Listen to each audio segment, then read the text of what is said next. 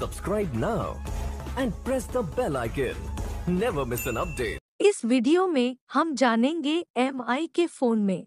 Video play करने पर file manager खुल जाता है। इस प्रॉब्लम को कैसे ठीक कर सकते हैं?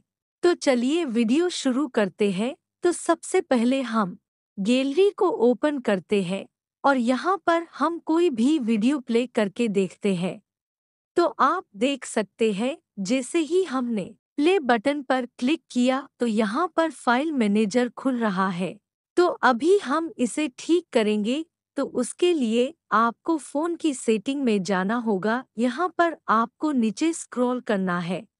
उसके बाद आपको ऐप्स पर क्लिक करना होगा और यहाँ पर आपको मैनेज ऐप्स पर क्लिक करना है।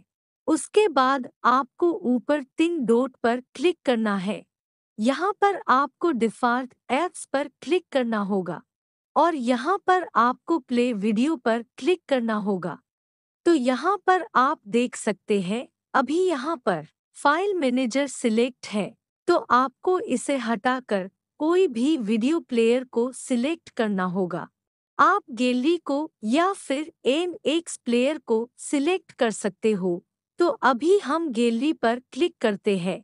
तो ये सिलेक्ट हो जाएगा, उसके बाद आपको बेक आना होगा। तो अभी हम फिर से वीडियो प्ले करके देखते हैं तो आप देख सकते हैं, ये वीडियो प्ले हो गया है और फ़ाइल मैनेजर नहीं खुल रहा है तो बस इस वीडियो में इतना ही।